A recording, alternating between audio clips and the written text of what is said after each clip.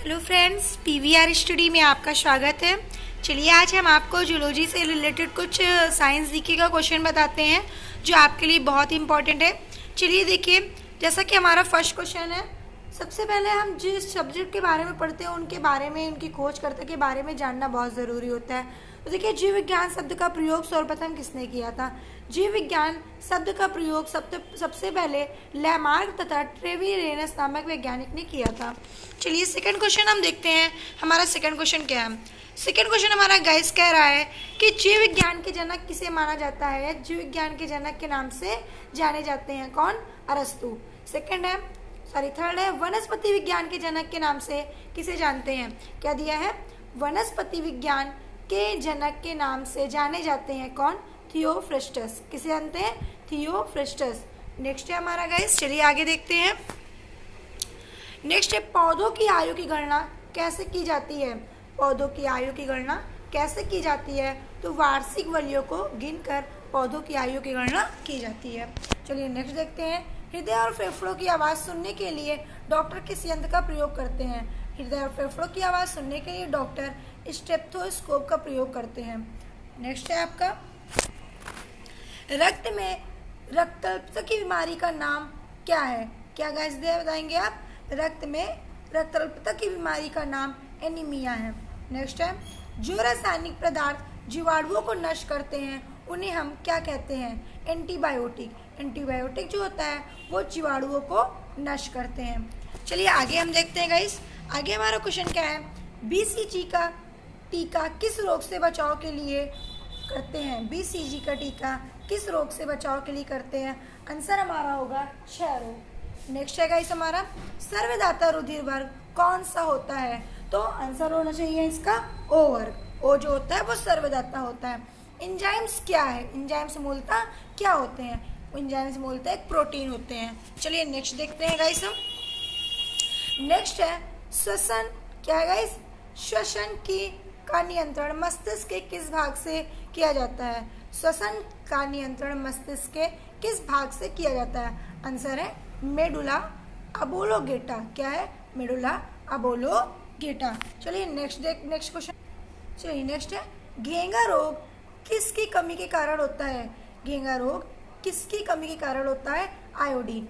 Next है आपका, रक्त का थक्का बनने में किस विटामिन की आवश्यकता होती है? तो रक्त का थक्का बनने में विटामिन के की आवश्यकता होती है। नेक्स्ट है गाइस जिस विटामिन में कोबाल्ट होता है, उसे आप क्या कहते हैं? Vitamin B twelve vitamin B twelve cobalt होता है, ठीक है? विटामिन बी ट्वेल्व में कोबाल्ट पाया जाता है। नेक्स्ट है हमारा लार में से किसके पाचन में सहयोग करता है? क्या गाइस है? लार में से किसके पाचन में सहयोग करता है स्टार्च? नेक्स्ट कौन सा हार्मोन्स लड़ो और उड़ो हार्मोन्स कहलाता है? एड्रिनेलिन। क्या है? एड्रिनेलिन। ठीक है? एड्रिनेलिन जो होता है, वो लड़ो और हार्मोन, लड़ो और उड़ो हार्मोन्स कहलाता है।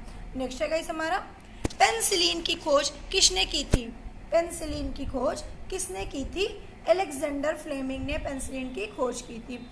पौधों में जल का परिवहन किसके माध्यम से होता है? जाइलम के माध्यम से। चलिए आगे बढ़ते हैं। और भी क्वेश्चन देखते हैं गाइस गाजर का रंग किस मौजूदगी के कारण, क्या है गाइस गाजर का रंग किस मौजूदगी के कारण होता है? ठीक है, क्या बता रहा है? गाजर का रंग किस मौजूदगी के कारण होता है? कैरोटीन। ठीक है नेक्स्ट है बॉटनी शब्द की उत्पत्ति किस भाषा के शब्द से हुई है? ग्रीक भाषा ग्रीक भाषा से बॉटनी शब्द की उत्पत्ति की गई है। नेक्स्ट है आपका। चलिए गाइस आगे हम देखते हैं। नेक्स्ट क्वेश्चन पे। चिकित्सा शास्त्र, क्या दिया है? चिकित्सा शास्त्र के विद्यार्थियों को किसकी शपथ दिलाई जाती है? हिप्पोक्रेटस हिप्पोक्रेटस चिकित्सा शास्त्र वाले विद्यार्थियों को शपथ दिलाई जाती है। चलिए आगे बढ़ते हैं हम। फाइकोलॉजी में किसका अध्ययन किया जाता है? फाइकोलॉजी में किसका अध्ययन किया जाता है? सवाल का। सवाल का अध्ययन फाइकोलॉजी में किया जाता है। नेक्स्ट है, फूलों के सर्वधन के विज्ञान को क्या कहते हैं? फूलों के सर्वधन के विज्ञान को फ्लोरिकल्चर कहते हैं। नेक्स्ट है, सिल्वी कल्चर वनस्पति विज्ञान की वह शाखा है, जिसमें वर्णन किया जाता है। किसमें?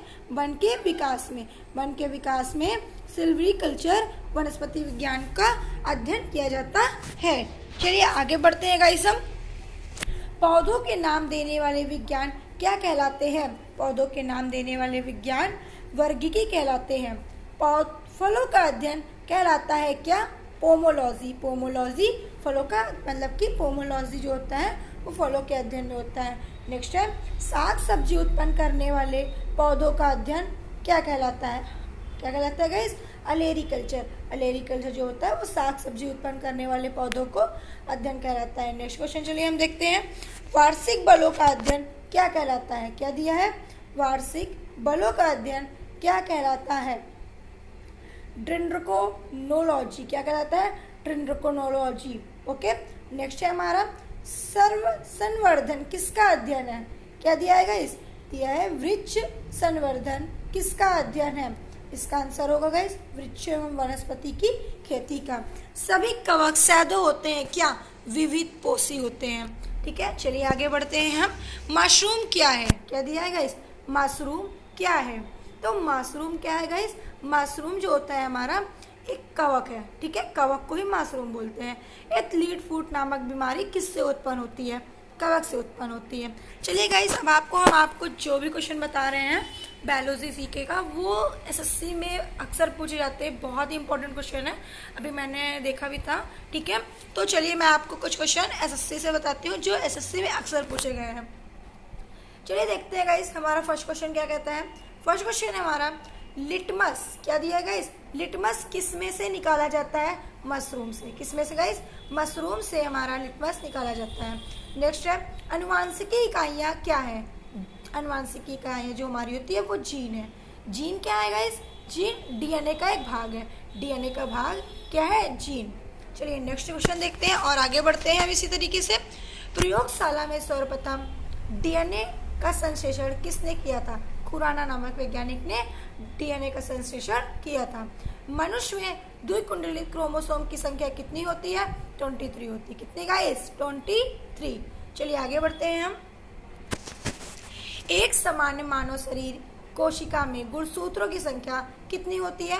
फोर्टी सिक्स होती है। कितनी? फोर्टी सिक्स मनुष्य में नर का गुणसूत्र समिक्षण होता है एक्स और वाई क्या नेक्स्ट हमारा नवजात शिशु के लिंग का निर्धारण किस से वंशागति हुए गुणसूत्र द्वारा किया जाता है। पिता से। किससे गए पिता से। चलिए आगे हम बढ़ते हैं। गुणसूत्र में होते हैं। क्या? डीएनए और प्रोटीन गुणसूत्र में डीएनए और प्रोटीन होते हैं। ओके गाइस नेक्स्ट है हमारा, मनुष्य ने कौन से क्रोमोसोम के मिलने से बालक का जन्म होता है? पुरुष एक्स सॉरी पुरुष वाई और स्त्री एक्स को मिलने से, क्रोमोसोम के मिलने से बालक का जन्म होता है। चलिए, आगे क्वेश्चन देखते हैं। अशुद्ध रक्त किसमें बहता है? अशुद्ध रक्त किसमें बहता है? जो हमारा अशुद्ध रक्त होता है, वो सिराओं में बहता है। नेक्स्ट है मनुष्य के शरीर में सबसे बड़ी ग्रंथि कौन सी होती है? यकृत। कौन सी होती है गाइस यकृत। चलिए नेक्स्ट देखते हैं। मनुष्य में मादा जनन अंग से किस हार्मोन्स का स्राव किया हो जाता है? रिलैक्सिन किससे? रिलैक्सिन प्रकाश संश्लेषण के दौरान निकाली ऑक्सीजन किससे उत्पन्न होती है? जल से। किससे गए जल से। चलिए आगे हम देखते हैं। क्लोरोफिल नामक पदार्थ कहाँ होता है? पौधों की कोशिकाओं में। मनुष्य में ऐच्छिक गतियों का नियंत्रण किसके द्वारा होता है? सेरिब्रम किसके द्वारा? सेरिब्रम द्वारा। चलिए आगे हम बढ़ते हैं। पौधों में प्रकाश संश्लेषण की क्रिया क्या दिया है? पौधों में प्रकाश संश्लेषण की क्रिया। पौधों में प्रकाश संश्लेषण की क्रिया कब होती है? क्या दिया है गाइस पौधों में प्रकाश संश्लेषण की क्रिया कब होती है? सूर्य के प्रकाश में। ठीक है? पौधे अपना भोजन कैसे प्राप्त करते हैं? पौधे अपना भोजन प्रकाश संश्लेषण से प्राप्त करते हैं। नेक्स्ट और लास्ट क्वेश्चन चलिए गाइस हम देखते हैं। हमारा क्वेश्चन है भी एक, दो क्वेश्चन और है गाइस चलिए देख लेते हैं। क्या रहा है हमारा क्वेश्चन अमीबा में भोजन का अंतर्ग्रहण किसके द्वारा होता है? अमीबा में भोजन का अंतर्ग्रहण किसके द्वारा होता है? कूटपात के द्वारा। ठीक है? मतलब क्वेश्चन ये है अंतर्ग्रहण, भोजन अपना कैसे मतलब कि अमीबा जो होता है, वो भोजन कैसे करता है? कूटपात के द्वारा। ठीक है? नेक्स्ट गाजर क्या है? गाजर एक क्या है? गाजर एक जड़ है। नेक्स्ट है, आलू का खाने योग्य भाग क्या होता है? आलू के खाने योग्य भाग तना होता है। क्या होता है गाइस तना। चलिए आगे हम देखते हैं। पत्ता गोभी खाद्य पदार्थ का संग्रह कहाँ करता है? पत्तियों में पत्तियों में वो खाद्य पदार्थ का संग्रह करता है। प्याज का खाद्य पदार्थ क्या है? तना है। क्या है गाइस तना। ओके गाइस चलिए। तो इस तरह के क्वेश्चन गाइस देखिए, आपके जितने भी कंपटीशन लेवल एग्ज़ाम होते हैं, उन सभी में पूछे जाते हैं। और कुछ क्वेश्चन मैंने आपको बताया था कि एसएससी में आए हुए थे आपकी। तो गाइज़ अगर आपको हमारी वीडियो पसंद आया तो प्लीज़ लाइक एंड सब्सक्राइब करना ना भूलें। और कमेंट बॉक्स में मुझे लिखकर ज़रूर बताएँ कि आपको हमारी वीडियो कैसे लगी। एंड उसके साथ साथ एक चीज़ एक चीज़ आपको मैं बता दूँ कि आप उस चीज़ को ज़रूर बताइएगा जिस चीज़ में कमी है हमारी और दूसरी चीज़, जो चीज़ें आपको समझ में नहीं आती, उस चीज़ को आप मुझसे पूछ सकते हैं। ओके गाइज़ आज के लिए इतना ही। मैं आपको नेक्स्ट वीडियो फिर बनाती हूँ।